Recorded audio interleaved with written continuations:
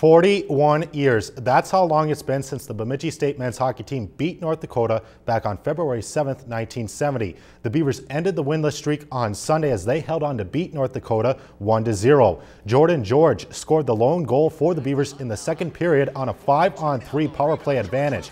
The Beavers' penalty kill was amazing all night. They stopped nine minutes of penalties in the third period alone, including a five-minute major. Head coach Tom Serratore says the players played consistently on Sunday, something that hasn't happened a lot this season. It was just a good win, and again, it's not necessarily who we're playing. It's just about playing, um, playing the, the, game that we did.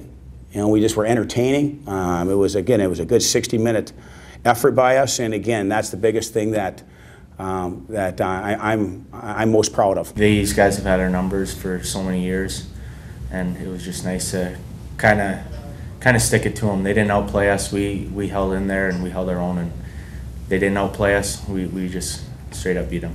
Great win by the Beavers, and they're off this week. They'll be back on the ice December 2nd on the road to take on St. Cloud State. If you've enjoyed this segment of Lakeland News, please consider making a tax-deductible contribution to Lakeland Public Television.